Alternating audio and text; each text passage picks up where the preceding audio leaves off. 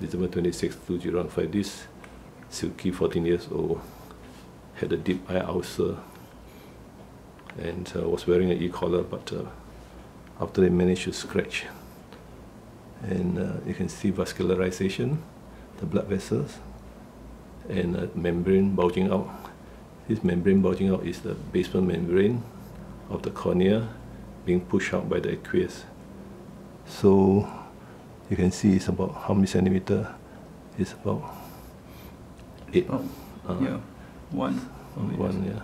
One. And and uh, it's been very itchy and painful, so keeps on rubbing and tearing. So so the best surgery is to sew up the eyelids at the beginning.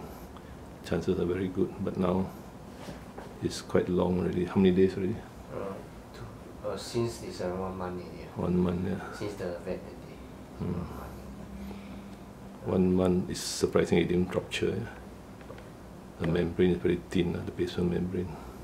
The dog still eating? Yeah, yeah, very good appetite. Good appetite. Yeah.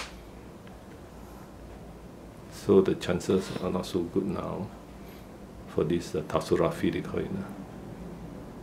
And uh, so owner has to decide what to do.